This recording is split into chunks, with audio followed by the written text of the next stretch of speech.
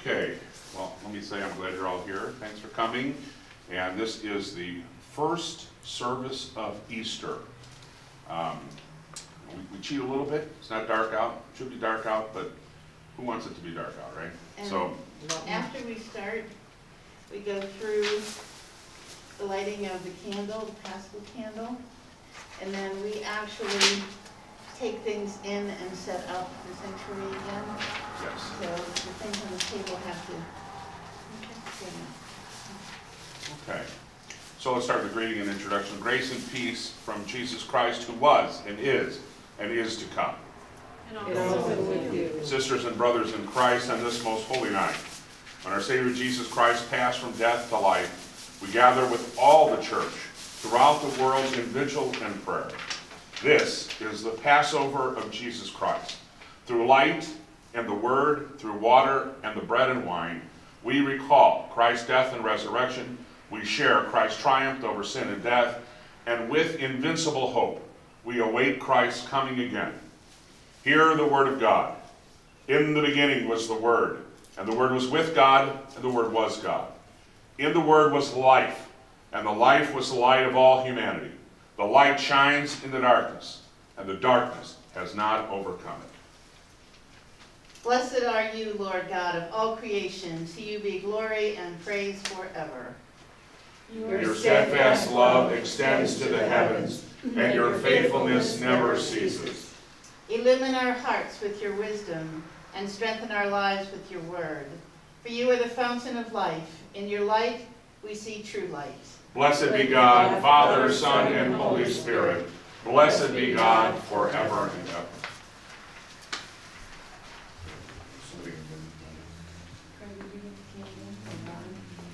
All we need is, I'll, I'll, let you. here's what I just need, you're gonna carry it in, right? Yeah, credit Okay. there. Okay, you gonna take that? Take it out. Okay.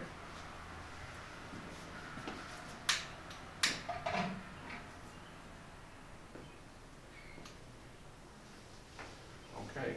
May the light of Christ rising in glory, Banish all darkness from our hearts and minds. Christ is our light.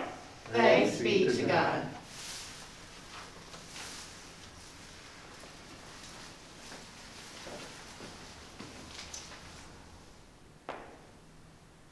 A reading from Genesis. In the beginning, when God created the heavens and the earth, the earth was a formless void, and darkness covered the face of the deep, while a wind from God swept over the face of the waters. Then God said, Let there be light, and there was light. And God saw that the light was good, and God separated the light from the darkness. God called the light day, and the darkness he called night. And there was evening and there was morning the first day. And God said, Let there be a dome in the midst of the waters, and let it separate the water from the waters. So God made the dome and separated the waters that were under the dome from the waters that were above the dome. And it was so. God called the dome sky, and there was evening, and there was morning the second day. And God said, Let the waters under the sky be gathered together into one place, and let the dry land appear. And it was so. God called the dry land earth, and the waters that were gathered together he called seas. And God saw that it was good.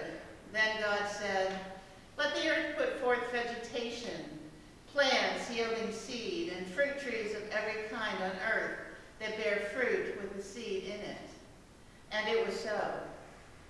The earth brought forth vegetation, plants yielding seed of every kind, and trees of every kind, bearing fruit with the seed in it.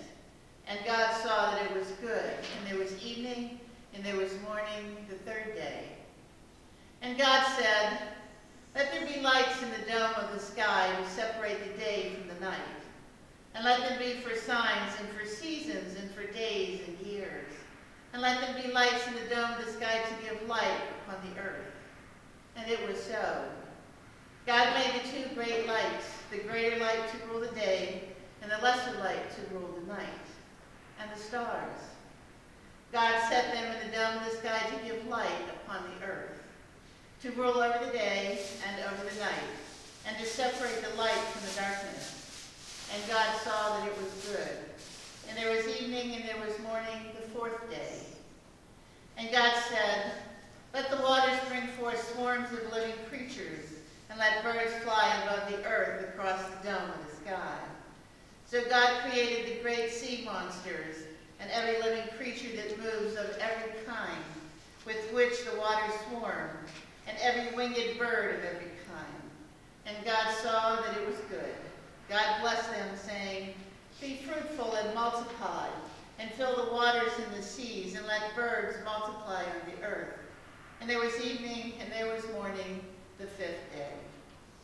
And God said, Let the earth bring forth living creatures of every kind, cattle and creeping things, and wild animals of the earth of every kind. And it was so. God made the wild animals of the earth of every kind, and the cattle of every kind, and everything that creeps upon the ground of every kind. And God saw that it was good. Then God said, Let us make humankind in our image, according to our likeness, and let them have dominion over the fish of the sea, and over the birds of the air, and over the cattle, and over all the wild animals of the earth, and over every creeping thing that creeps upon the earth. So God created humankind in his image. In the image of God, he created them. Male and female, he created them.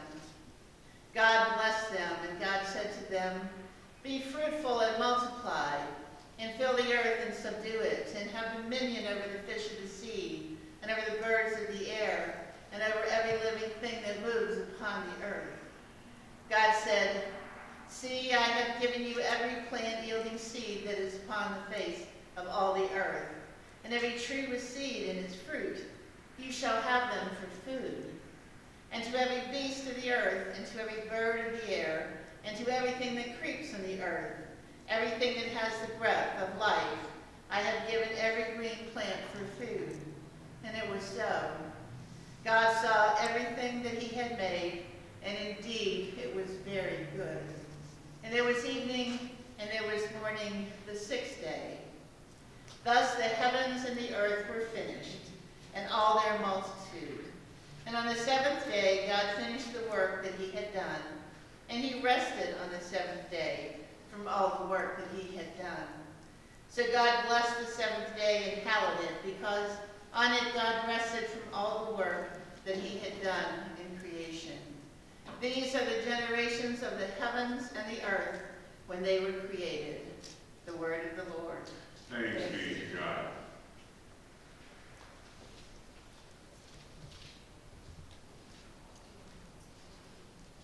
Oh, um, you're gonna need the hymnal for this because both of the, these are backside, so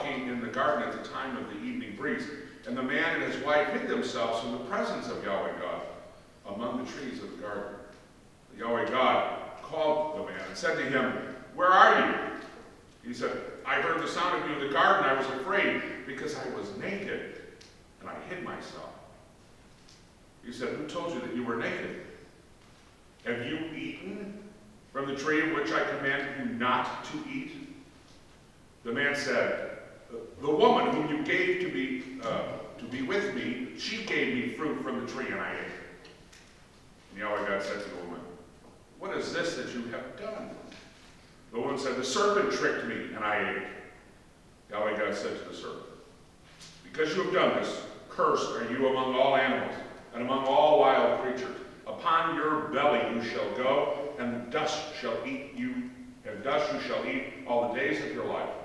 I will put enmity between you and the woman, and between your offspring and hers. He will strike your head, and you will strike his heel. To the woman he said, I will greatly increase your pangs in childbearing. In pain you shall bring forth children, yet your desire shall be for your husband, and he shall rule over you. To the man he said, Because you have listened to the voice of your wife and have eaten of the tree about which I commanded you, you shall not eat of it. Cursed is the ground because of you. In toil you shall eat of it all the days of your life. Thorns and thistles it shall bring forth for you, and you shall eat the plants of the field. By the sweat of your brow you shall eat bread, until you return to the ground. For out of it you were taken. You are dust. To dust you shall return. The man named his wife Eve because she was the mother of all living. And Yahweh God made garments of skins for the man and his, for his wife and clothed them. And Yahweh God said, See, the man has become like one of us, knowing good and evil. And now he might reach out his hand and take also from the tree of life and eat and live forever. Therefore Yahweh God sent him forth from the Garden of Eden to till the ground from which he was taken. He drove out the man, and at the east of the Garden of Eden he placed the cherubim and a sword flaming and turning to guard the way to the tree of life. Let's sing together. Is our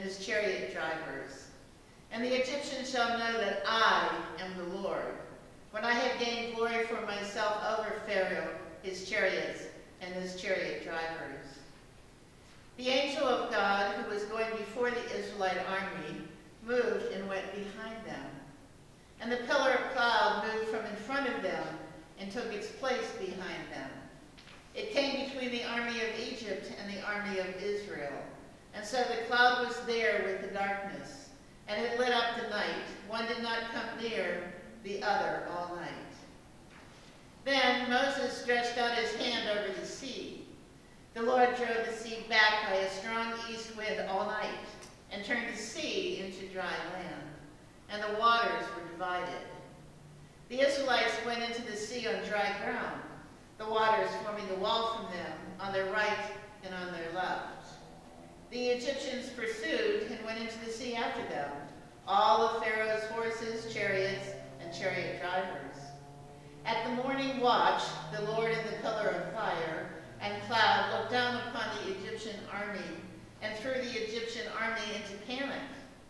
He clogged their chariot wheels so that they turned with difficulty. The Egyptians said, Let us flee from the Israelites, for the Lord is fighting for them against Egypt. Then the Lord said to Moses, Stretch out your hand over the sea so that the water may come back upon the Egyptians, upon their chariots and chariot drivers. So Moses stretched out his hand over the sea, and at dawn the sea returned to its normal depth. As the Egyptians fled before it, the Lord tossed the Egyptians into the sea. The waters returned and covered the chariots and the chariot drivers, the entire army of Pharaoh that had followed them into the sea. Not one of them remained. But the Israelites walked on dry ground through the sea, the waters forming a wall from them on their right and on their left. Thus the Lord saved Israel that day from the Egyptians. And Israel saw the Egyptians dead on the seashore. Israel saw the great work that the Lord did against the Egyptians. So the people feared the Lord and believed in the Lord and in his servant Moses. The word of the Lord. Thanks be to God. The song of Miriam.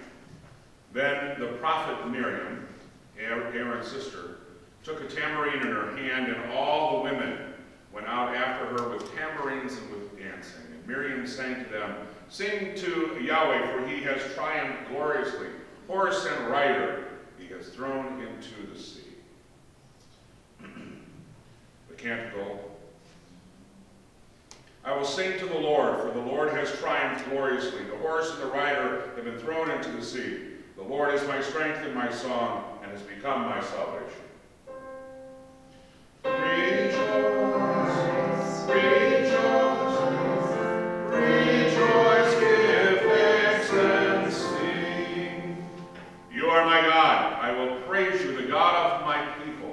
Exalt you. Who among the gods, O Yahweh, is like you? Who is like you, majestic in holiness? Who among the gods, O Yahweh, is like you, awesome in splendor, doing wonders. Rejoice, rejoice, rejoice, give thanks and sing. With unfailing love, you led the people you redeemed. In your strength, you guided them to your holy dwelling. Brought them in and planted them on your mountain, the place, O Yahweh, you chose for your dwelling, the sanctuary, O Yahweh, your hands established. You, Yahweh, will reign forever and ever. Rejoice, rejoice, rejoice, give thanks and sing.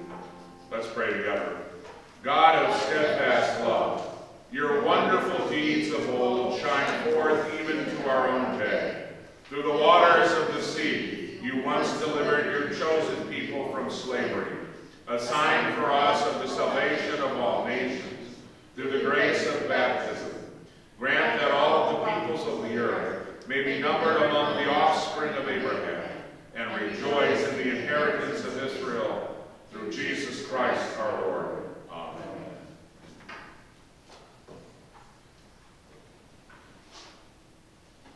Reading from the New Testament in Romans. Do you know that all of us who have been baptized into Christ Jesus were baptized into his death? Therefore, we have been buried with him by baptism into death, so that just as Christ was raised from the dead and by the glory of the Father, so we too might walk in the newness of life. For if we have been united with him in death like his, we will certainly be united with him in a resurrection like his. We know that our old self was crucified with him, so that the body of sin might be destroyed, and we might no longer be enslaved for sin. For whoever has died is freed from sin.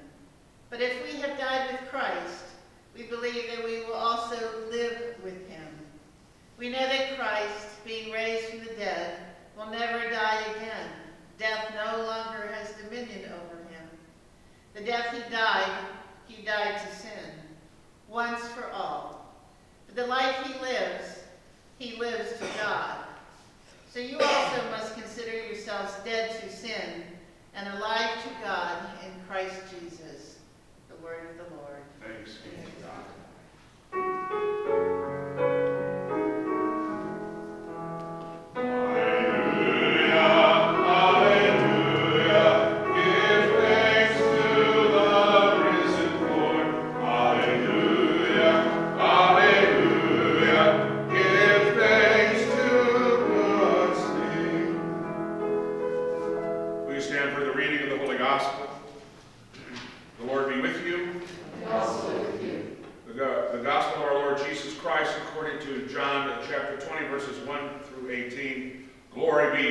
Lord Christ. The Lord be my mind, my lips, and my heart.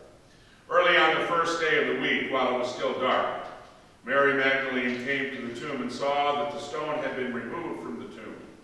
So she ran and went to Simon Peter and the other disciple, the one whom Jesus loved, and said to them, They have taken the Lord out of the tomb, and we do not know where they have laid him. Then Peter and the other disciple set out and went toward the tomb. The two were running together, but the other disciple outran Peter and reached the tomb first. He bent down to look in and saw the linen wrappings lying there, but he did not go in. Then Simon Peter came following him and went into the tomb. He saw the linen wrappings lying there, and the cloth that had been on Jesus' head, not lying with the linen wrappings, but rolled up in a place by itself. Then the other disciple who reached the tomb first also went in, and he saw and believed. For as yet they did not understand the scripture, that he must rise from the dead. Then the disciples returned to their homes. But Mary stood weeping outside the tomb. As she wept, she bent over to look into the tomb. And she saw two angels in white sitting where the body of Jesus had been lying, one at the head and the other at the feet. They said to her, Woman, why are you weeping? She said to them, They have taken away my Lord, and I do not know where they have laid him. When she had said this, she turned around and saw Jesus standing there, but she did not know that it was Jesus. Jesus said to her, Woman, why are you weeping? Whom are you looking for? Supposing him to be the gardener, she said to him, Sir, if you have carried him away, tell me where you have laid him, and I will take him away. Jesus said to her, Mary. She turned and said to him in Hebrew, Rabboni, which means teacher. Jesus said to her, Do not hold on to me, because I have not yet ascended to the Father, but go to my brothers and say to them, I am ascending to my Father and your Father, to my God and your God. Mary, Mary Magdalene went and announced to the disciples, I have seen the Lord. And she told them that he had said these things to her. The gospel of the Lord. Praise you, Lord Christ. Thank you, may be seated.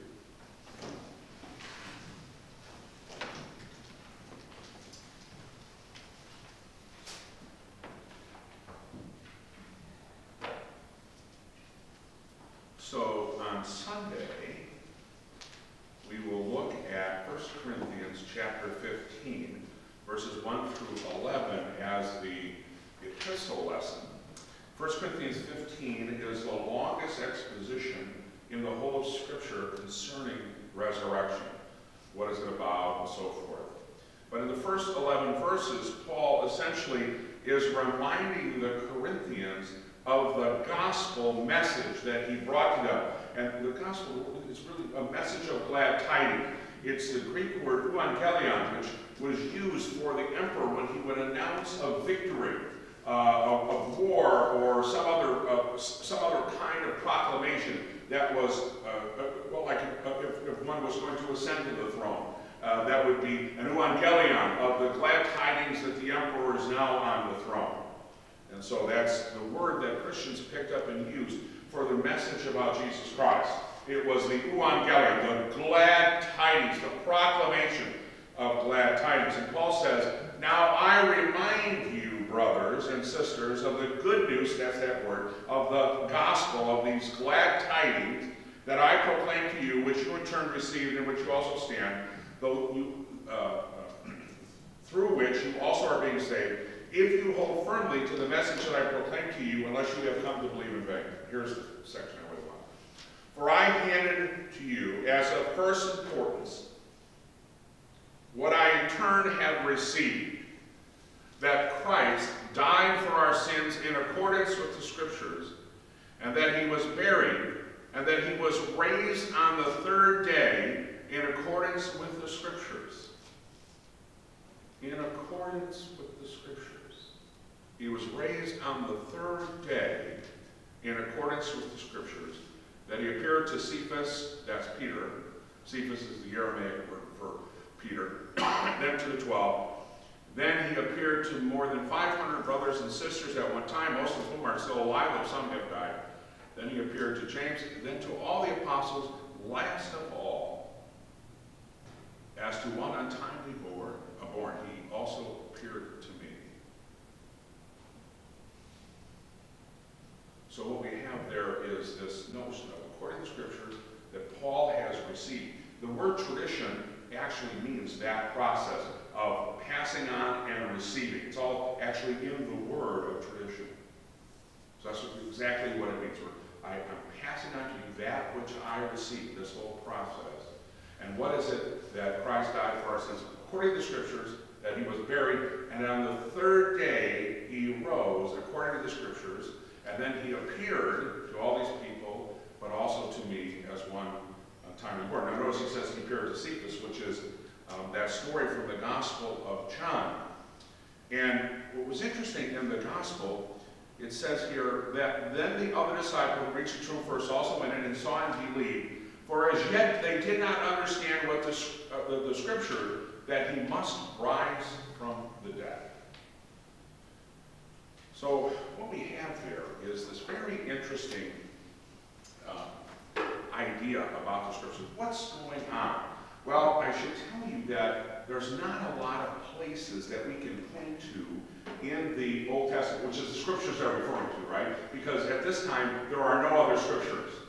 The New Testament hasn't been written and codified so that it's the canonical text that we have, but it's being formed and developed and written, right?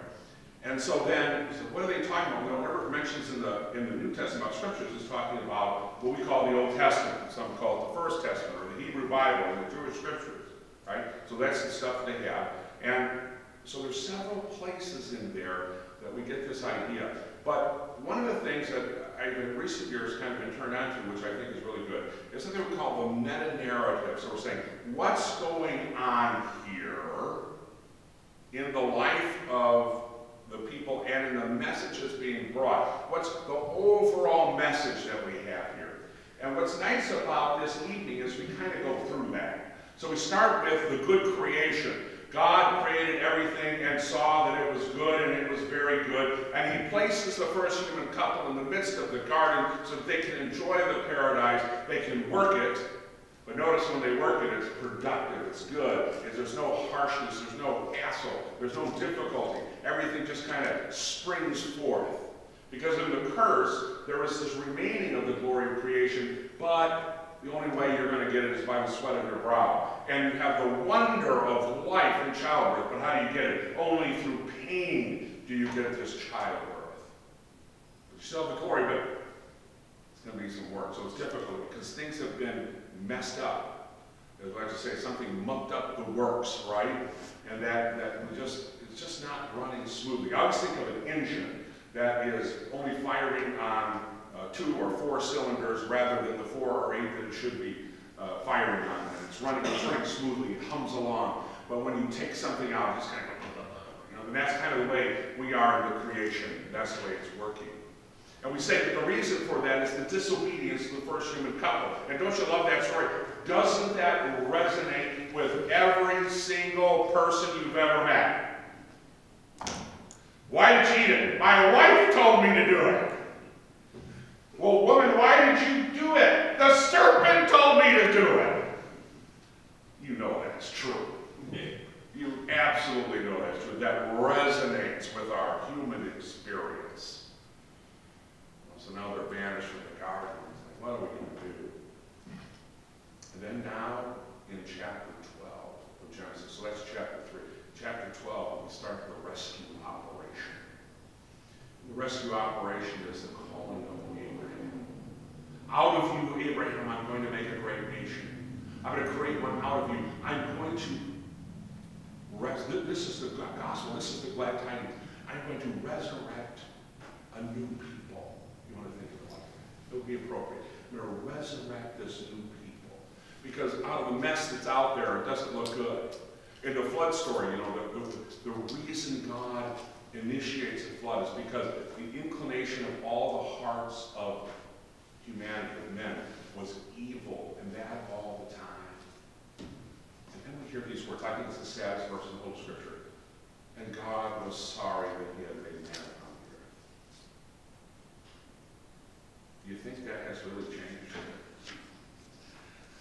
Pick up the newspaper on any given day and read it. You go, I'm sure God is sorry he had made man upon the earth.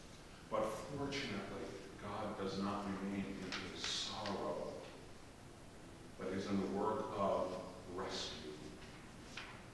So he starts with Abraham. I'm going to make a great people. I'm going to raise this up. And through you, all the nations of the world are going to be blessed. And then we see exactly how the rest of the operation is put into process when the people of Israel find themselves in slavery in Egypt and they cry out to the God of their father, Abraham, Isaac, and Jacob, about their oppression and their toil. And God raises up for them a deliverer, Moses.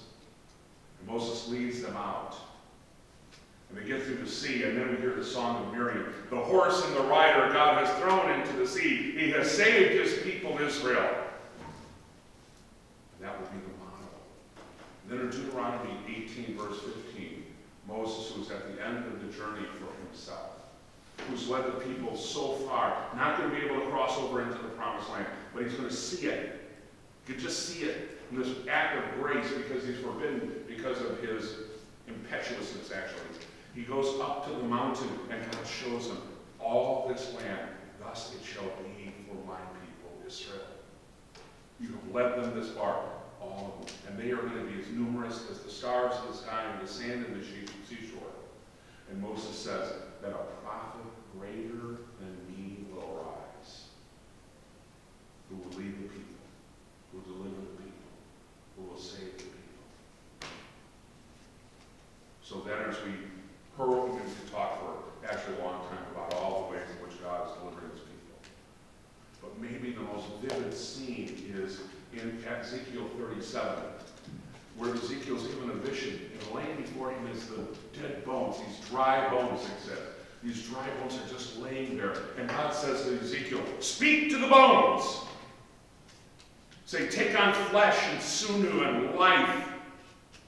And, God, and Ezekiel spoke to the bones, and there was a clattering, and it's such a vivid picture. You know, we've got a wonderful advantage. I don't know why any of us have taken advantage of. So all we've had for 3,000 years, or 2,500 years, or 2,000 years, whatever, the time period, various things, it are, word pictures.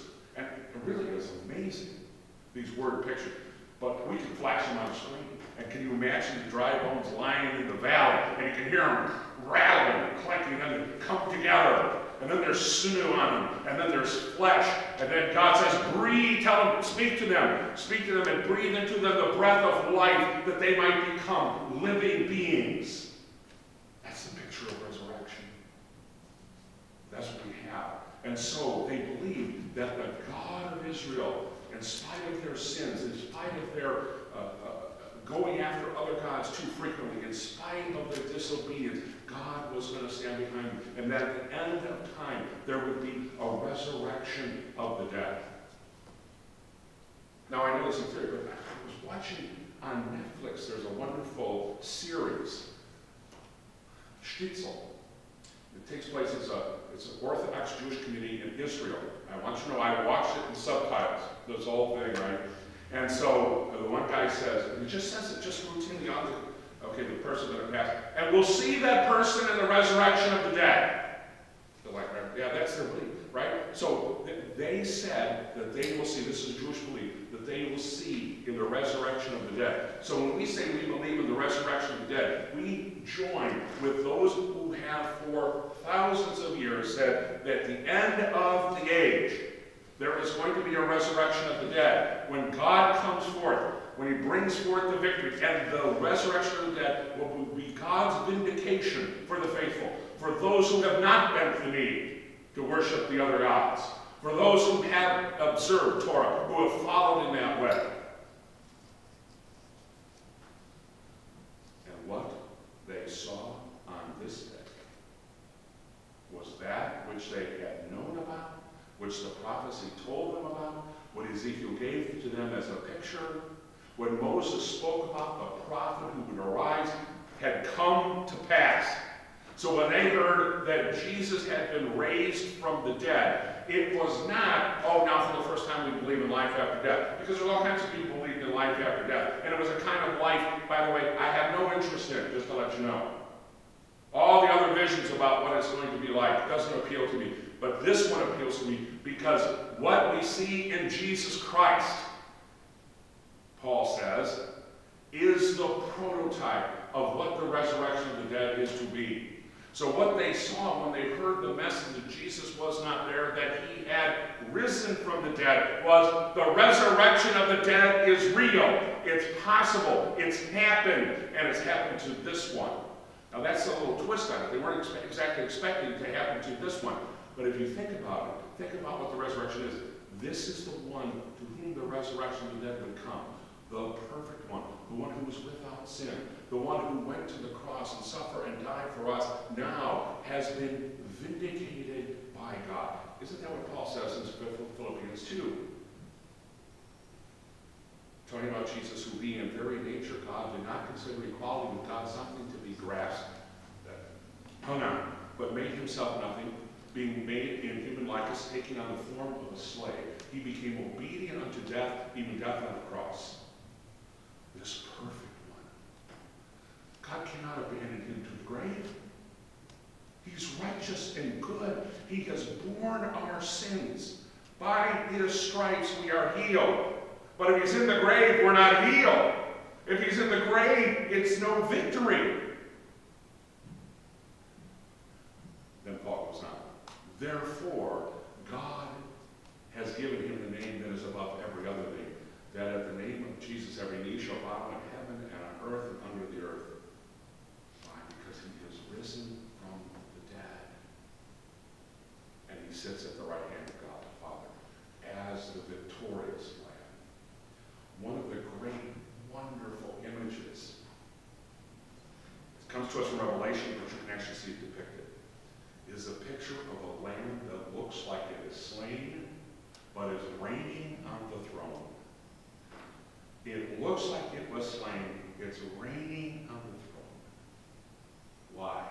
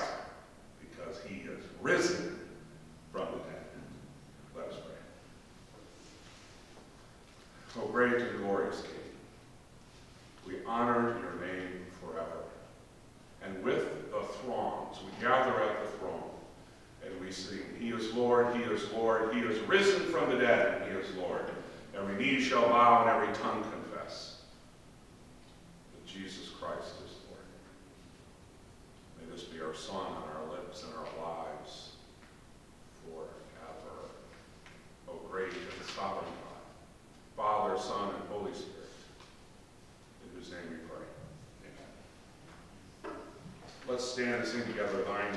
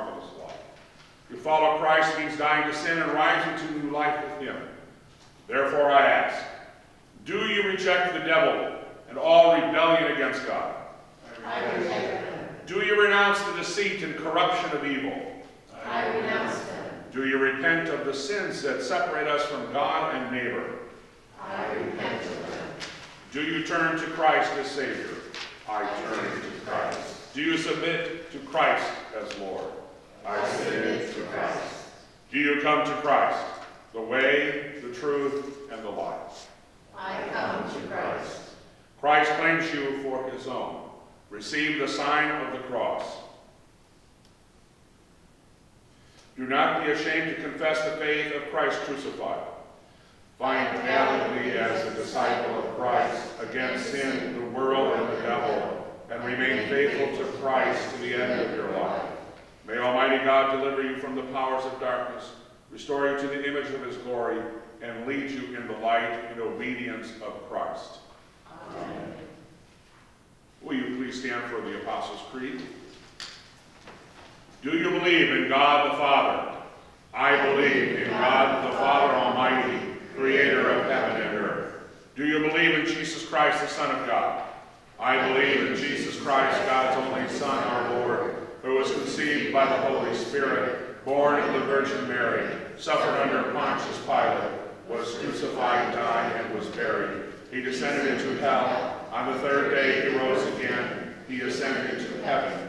He is seated at the right hand of the Father. He will come to judge the living and the dead. Do you believe in God the Holy Spirit? I believe in the Holy Spirit, the Holy Catholic Church, the communion of saints, the forgiveness of sins, the resurrection of the body, and the life everlasting. Amen. Thank you, may be seated. The Lord be with you. With you. Let us give thanks to the Lord our God. It is right to give our thanks and praise. We give you thanks, eternal God, for you nourish and sustain all living things by the gift of water. In the beginning of time, your spirit moved over the watery chaos, calling forth order and life. In the time of Noah, you destroyed evil by the waters of the flood, giving righteousness a new beginning. You led Israel out of slavery through the waters of the sea into the freedom of the promised land. In the waters of Jordan, Jesus was baptized by John and anointed with your spirit. By the baptism of his own death and resurrection, Christ set us free from sin and death opened the way to eternal life. We thank you, O God, for the water of baptism. In it we are buried with Christ in his death, and from it we are raised to share in the resurrection. Though, uh, through it we are reborn by the power of the Holy Spirit. Therefore, in joyful obedience to your Son, we celebrate our fellowship in him in faith. We pray that all who have passed through the water of baptism may continue forever in the risen life of Jesus Christ our Savior. To him, to you, and to the Holy Spirit, be all honor and glory now and forever.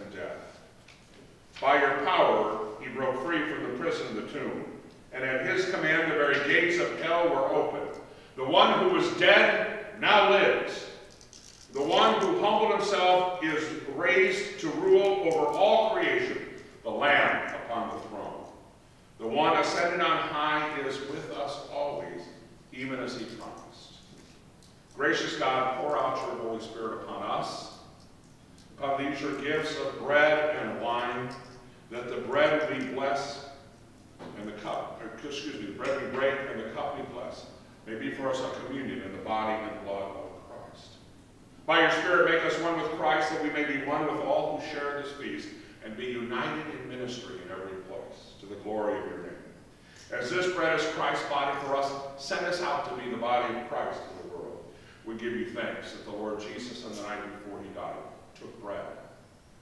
And after giving thanks to you, he broke it, gave it to his disciples, and said, Take, eat. This is my body which is given for you. Do this in remembrance of me. The same way, after supper, he took the cup. Again, he blessed it, gave it to his disciples, and said, This cup is a new covenant, sealed in my blood, shed for you and for many for the forgiveness of sins. Drink it as often as you shall drink in remembrance of me.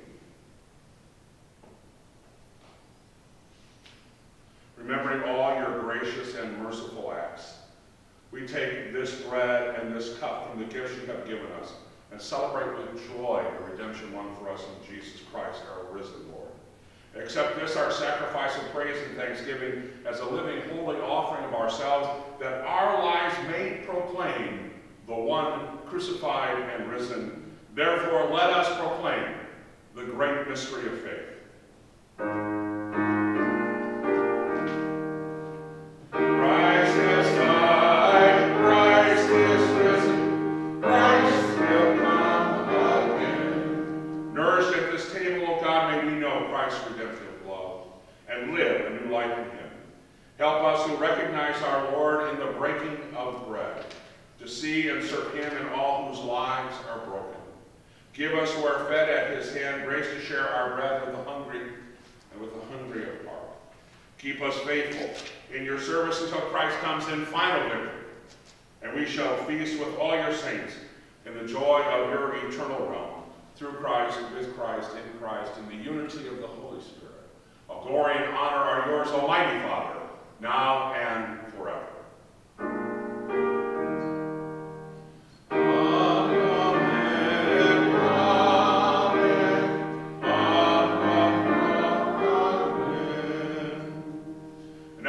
our Savior Christ has taught us to pray, so we are bold to say, Our Father, who art in heaven, hallowed be thy name.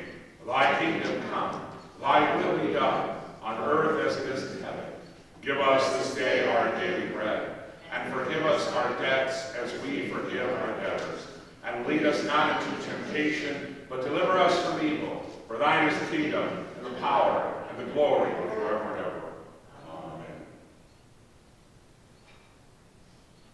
Hallelujah! Christ, our Passover, has been sacrificed for us. Therefore, let us keep the feast. Hallelujah. The body of Christ broken for you, take in remembrance that Christ died for you.